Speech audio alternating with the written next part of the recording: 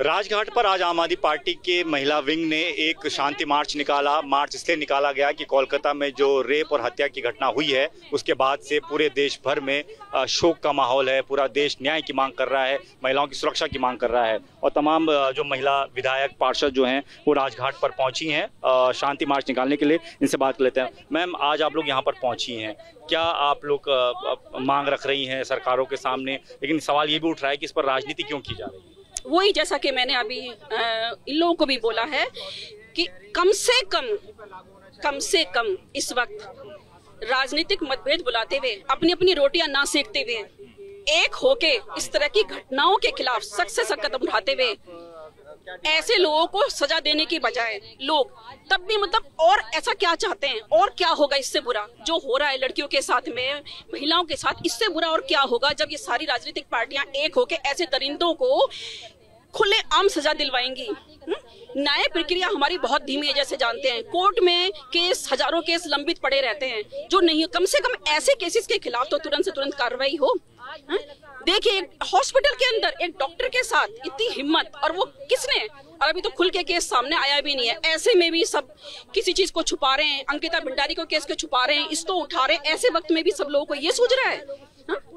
तो जब तक सब लोग एक होके इस मामले को गंभीरता से नहीं लेंगे, ये नहीं सोचेंगे कि हमारे घर में भी बहन बेटियाँ हैं, तब तक इस तरह की घटनाओं पे कभी भी लगाम नहीं लगेगी। आपका क्या कहना है? मेरा ये कहना है इस बारे में कि देखिए अब तक ये नारा लगाया है लोगों ने कि शिक्षित करें, नारी को और आगे बढ़ाएँ। देखिए, नारी शिक्षित है, नारी को शिक्षित किया जा रहा है, लेकिन नारी को शिक्षित करने के बाद भी नारी सुरक्षित नहीं है। तो नारी सुरक्षित कब होगी? तब होगी जब एक मर्द को भी सुरक्षित किया जाए। सबसे पहले हमारा फ़र्ज़ ये बनता है, अब अब इस बात पर ध्यान देना चाहिए लोगों को कि नारी को बहुत शिक्षित कर लिया, बड़ी उसकी रक्षा की बातें कर ली। अब एक आदमी को ये सिखाया जाए कि औरत की इज़्ज़त और उसकी शरीर की क्या वैल्यू है? आपके घर में माँ बहन है बेटी है, क्या आप उनको भी उसी नज़र से देखते हैं? उनकी, मैं चाहती हूँ, सरकार से भी गुजारिश करती हूँ, हमारी दिल्ली में हमारी सरकार है, मैं गुजारिश करूँगी कि आप स्कूल में, हफ़्ते में एक क्लास बॉयज़ की इस चीज़ की रखवाएँ, कि देखिए कैसे नारी को इज़्ज़त दी जाती है, कैसे बहन बेटी की इज़्ज़त की जाती है, और उन्हें सिखाया जाए, अगर सड़क पर आप चल रहे हैं तो बहन बेटियों की आपकी भी ज़िम्मेदारी बनती है कि आप उनकी रक्षा करें। तो इन्हीं मांगों के साथ, देखिए, आम आदमी पार्टी का शांति मार्च चल रहा है, सामने राजघाट है, और राजघाट के बाहर ही तमाम जो महिलाएँ हैं, वो जमा हुई थी, और हाथों में तख्तियाँ भी लिए हुए हैं, जिसमें कह रहे हैं कि देश भर देश भर में जो बलात्कार की शिकार महिलाएँ हैं, उनको इंसाफ दिया जाना चाहिए। सारिका चौधरी मेरे साथ हैं। सारिका जी, ये जो आप, आज आपने शांति मार्च निकाला, किस पर क्या कहेंगे?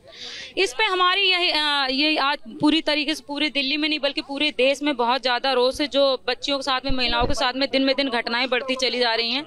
हमारी डिमांड ये है कि सरकार को केंद्र सरकार को इसमें ठोस कदम उठाने चाहिए, अच्छे कानून बनाने चाहिए, फास्ट ट्रैक कोर्ट बनाना चाहिए, और छः महीने के अंदर जो भी अपराधी अगर इस तरीके से घनूनी हरकतबाजी करता है, उसमें सही जाँच करके और छः महीने के अंदर उसको सजाए, मौत देनी चाहिए। और जब मैं महिला आयोग में भी थी, तब भी हमने कई बार ये डिमांड उठाई थी कि महिलाओं के साथ में, बच्चों के साथ में दिन में दिन घटनाएँ बढ़ती जा रही है। सरकार इसमें कुछ नहीं कर रही है। और हमारी पहले से भी यही डिमांड थी कि छह महीने के अंदर सजाए मौत देनी चाहिए। बहुत सारे हमने देखा है कि अपराधी कोई पुलिस वाला होता तो कोई अधिकारी होता तो कोई आईपीएस होता है तो कोई आईपीएस होता है। तो कोई भी इसमें शामिल हो, सबके खिलाफ में स्वयं एक्शन होना चाहिए। और हमारी डिमांड यही है कि पूरे देश में जो बच्चों के साथ में बहुत गलत हो रहा है, उसको लेकर के कानून बनाया जाए। क्योंकि छह बजे के बाद में बच्चियाँ भी बहुत डरती हैं। मैं सबकी बात क्या करूँ? मेरे घर में जब भतीजी आई थी, वो बेचारी छह में साल की थी।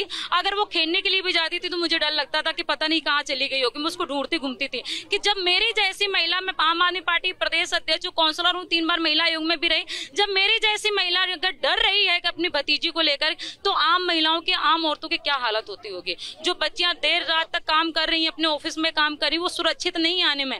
तो सरकार को इसमें सोचना चाहिए कि कैसे उनको सुरक्षा दिलाई जा सके। तो महिला की सुरक्षाओं की मांग को लेकर, ये तमाम जो है लोग यहाँ पर प्रदर्शन करने पहुँचे थे, और खास तौर पर महिला मोर्चा, आम आदमी पार्टी की यहाँ पर है, और इनका ये कहना था कि इस पर राजनीति नहीं होनी चाहिए, बस इन सब मामलों पर जल्द से जल्द ट्रायल चलना चाहिए। ट्रायल कोर्ट जिस तरीके से इस पर पूरे जजमेंट लेकर आता है मुख्य आरोपी को जल्द से जल्द कठोर से कठोर सजा मिले ताकि एक नज़ीर पेश की जा सके कि आगे कोई भी इस तरह के अपराध करने से पहले हज़ार बार सोचे। कैमरामैन राजेंद्र सिंह के साथ Deepak Singh Rawat ABP news Delhi.